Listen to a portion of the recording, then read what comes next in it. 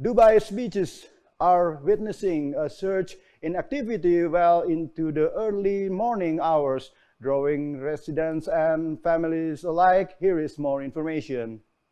Dubai's night beach beat the heat. Long after the sunset, the city's coastline time alive with joggers, cyclists, and families enjoying picnics on foldable tables.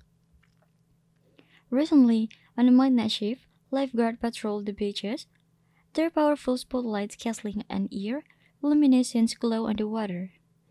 Even at the latest hour, the temperature remained at 32 degrees Celsius with 79% humidity, which by Dubai standards is relatively pleasant for a summer night in this Dublin city of the skyscraper and vibrant ports. The Suqeim beach, located in an upscale neighborhood along Dubai coast, comes to life long after sunset with beach goers including the light night swims and illuminated waterfront stroll. Several such locations in Dubai have been designed as night beach by the Dubai municipality, allowing 24-hour swimming and providing ample lighting.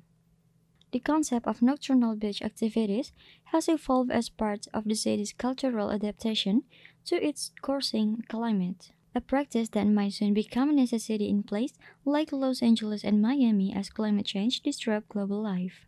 While the city extreme heat wasn't the primary reason for creating Night Beach, municipal authorities have stated that this initiative are aimed at enhancing the overall quality of life in bustling city that never sleeps. Nevertheless, the sweltering conditions have made night beach outing increasingly popular among residents. Some beach crews depart after a few hours, but many stay through the night.